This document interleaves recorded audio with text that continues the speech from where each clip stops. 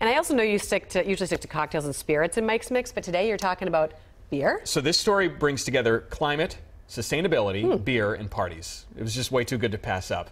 It's a new partnership between Minnes- Minneapolis's Fair State Brewing, Askov Finlayson, and the Land Institute in Kansas that promises a new way to brew using an earth-friendly, cost-effective, and delicious Minnesota-grown grain called Kernza. Why have I never heard of Kernza before? Well, Kernza is, is an emerging idea. Um, in fact, the idea that agriculture can be part of the solution to the environmental crisis is itself an emerging idea. Adam Fetcher leads Askov Finlayson's Give 110% initiative, the company's promise to offset its carbon footprint and then some. It includes helping to turn climate friendly grains into moneymakers for farmers. Kernza, a perennial wheatgrass developed by the Land Institute, is where they're starting. Typical commodity crops like wheat need to be tilled every single year.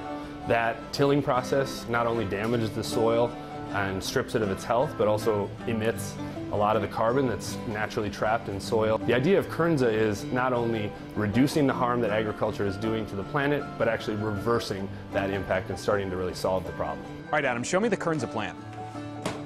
My gosh. The Kernza root is about 15 feet long, up to 15 feet long. And it's drought and flood tolerant, I would assume. Yeah, more so than wheat. The hope is that with a little nudge, the long term gain of growing this crazy looking grain will outweigh the short term challenge for everyone involved. At the end of the day, farmers need to f- feed their families and, and make enough money to stay in business. Absolutely. So that's why there's sort of a chicken and egg scenario going on with Kernza right now, where there's quite a lot of demand and quite a lot of excitement, but that transition for farmers is challenging, and that's why uh, we're really excited to help. Enter our savior, the beer. We're already planning on uh, doing a Minnesota beer, and then we tied this into the uh, the Kernza into it because it just seemed like such a, a, a perfect fit. For President and CEO Evan Sallee, experimenting with Minnesota grains like Kernza is sort of the whole point. We have been uh, here at Fair State really uh, excited and kind of devoted to trying to develop uh, Minnesota agricultural to support beer. It's always exciting for us to be able to work with new ingredients and see what they have to offer.